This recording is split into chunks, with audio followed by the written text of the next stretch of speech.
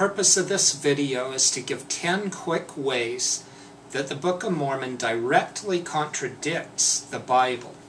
Mormons would like you to believe that the Book of Mormon is hand in hand with the Bible and in total agreement, and some Mormons have even posted videos claiming that the Book of Mormon and the Bible go hand in hand and there's no contradiction. I'm going to show you in just a few minutes here at least 10 places where the Book of Mormon is in direct contradiction to the Bible. 1 Nephi chapter 19 verse 10 speaks of three days of darkness that should be a sign of Jesus' death. Helaman 14 verse 27 says this darkness would cover the face of the whole earth. Helaman chapter 14 verse 20 says, quote, But behold, as I said unto you concerning another sign, a sign of his death, behold, in that day that he shall suffer death, the sun shall be darkened, and refuse to give his light unto you, and also the moon and the stars.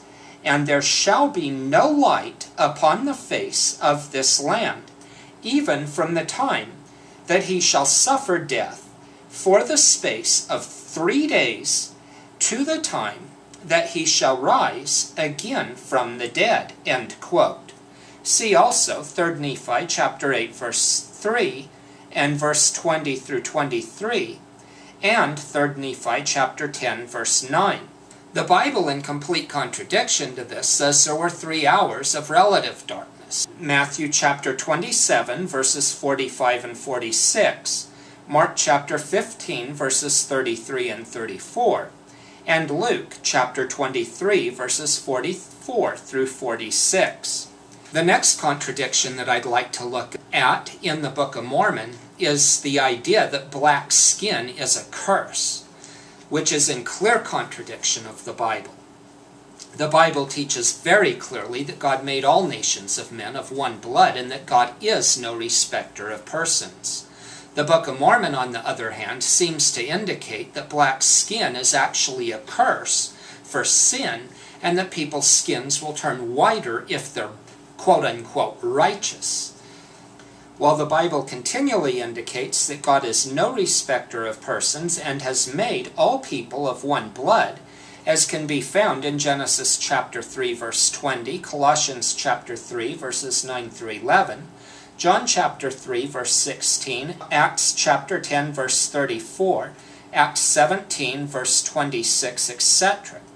The Book of Mormon declares black skin to be a curse and indicates that sinfulness or sinlessness can actually make a person's skin white or black. Romans chapter 3, verse 23, and other verses in the Bible would indicate that every person on this planet should be pitch black if this claim was true. Jacob chapter 3 verse 8 in the Book of Mormon says this, quote, O my brethren, I fear that unless ye shall repent of your sins, that their skins will be whiter than yours when you shall be brought with them before the throne of God. 3 Nephi chapter 2 verses 14 through 16 say the following quote, And it came to pass that those Lamanites who had united with the Nephites were numbered among the Nephites, and their curse was taken from them, and their skin became white like unto the Nephites, and their young men and their daughters became exceedingly fair, and they were numbered among the Nephites and were called Nephites, and thus ended the thirteenth year. End quote. You can find much more racism in verses like these in the Book of Mormon. 1 Nephi chapter 11 verse 13, 1 Nephi chapter 12 verse 23, 1 Nephi chapter 13 verse 15, 2 Nephi chapter 5 verses 21 through 24, Jacob chapter 3 verse 5, Mormon chapter 5 verse 15, Alma chapter 3, verses 6 through 10, and verses 14 through 16. The third contradiction that I'd like to look at in the Book of Mormon versus the Bible is the Book of Mormon teaches that we are saved by grace after all we can do. When the Bible indicates that grace and works are total and complete opposites in Romans chapter 11 verse 6, which says, And if by grace, then is it no more of works, otherwise grace is no more grace. But if it be of works, then is it no more grace, otherwise work is no more work. Ephesians 2 verses 8 through 10 says, For by grace are ye saved through faith, and that not of yourselves, it is the gift of God, not of works, lest any man should boast. For we are his workmanship, created in Christ Jesus, unto good works, which God hath before ordained that we should walk in them. The Book of Mormon, on the other hand, in Moroni chapter 10, verse 32, says, quote, Yea, come unto Christ, and be perfected in him, and deny yourselves of all ungodliness. And if ye shall deny yourselves of all ungodliness, and love God with all your might, mind, and strength, then is his grace sufficient for you. 2 Nephi chapter 25 verse 23 says, quote, For we labor diligently to write, to persuade our children and also our brethren, to believe in Christ and to be reconciled to God. For we know that it is by grace that we are saved after all we can do. End quote. The fourth problem that I'd like to look at that's a direct contradiction between the Book of Mormon and the Bible is the Book of Mormon says that Jesus is going to be born in Jerusalem. Of course, it was wrote hundreds of years later after Jesus' birth, I believe originally in about 1830, and they still missed the place of Jesus' birth, which is very clearly and explicitly recorded in the Bible as being Bethlehem. But nevertheless, Joseph Smith still says that Jesus was going to be born in Jerusalem. We find the following in Alma chapter 7, verse 10, quote, And behold, he shall be born of Mary at Jerusalem, which is the land of our forefathers, she being a virgin, a precious and chosen vessel, who shall be overshadowed and conceive by the power of the Holy Ghost, and bring forth a son, yea, even the Son of God.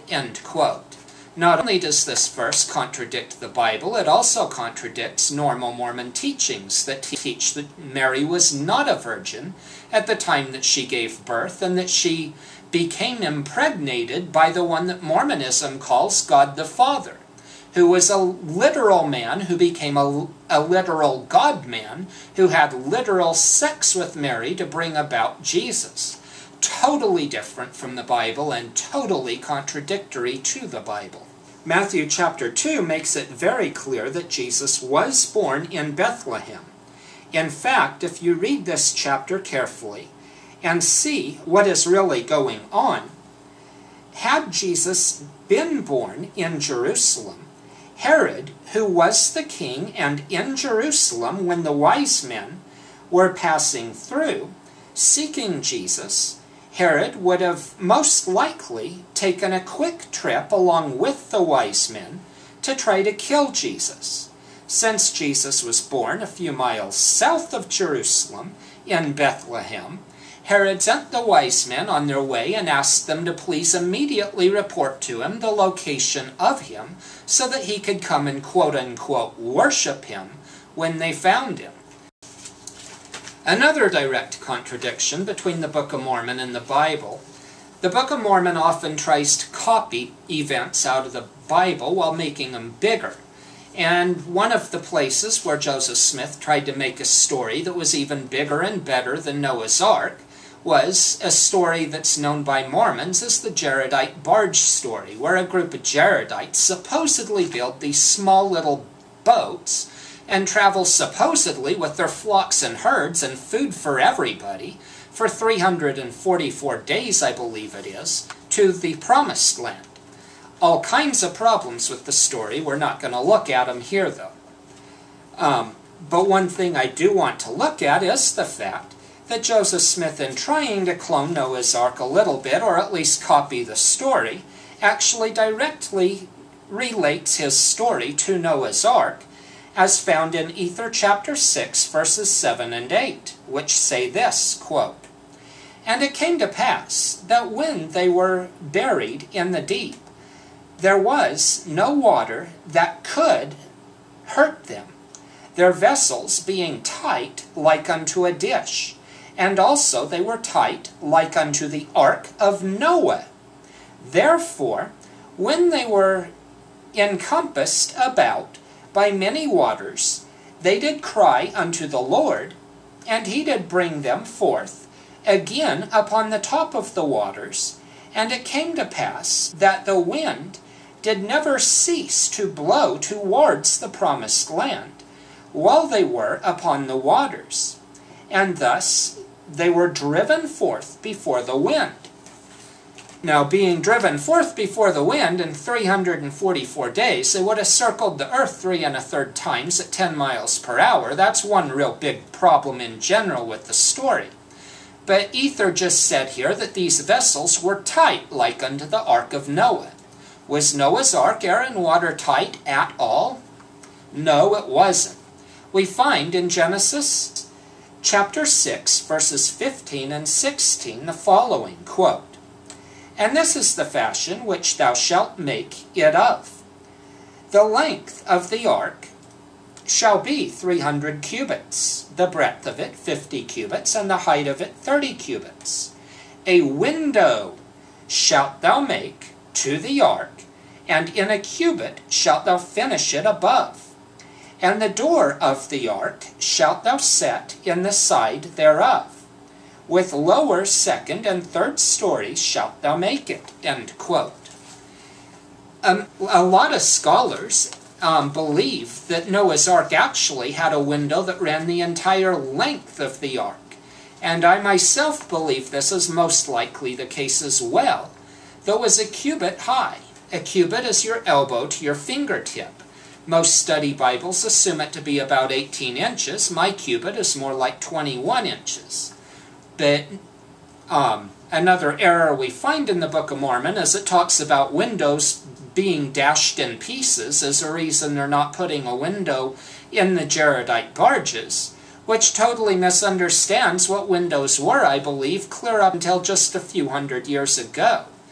Um, windows the best that I know, forever back, up until just a couple hundred years ago, were just a hull, sometimes covered with a piece of board or maybe some leather or something else that could close it in time of wind or rain or whatever. But all a window ever was was just a hull. And Joseph Smith apparently hadn't figured this out, living in 1830 when there was some glass for windows, and I believe most houses probably had glass windows then he assumed that, you know, you can't have windows in these barges because they'd be broken in pieces. So there's one more huge problem.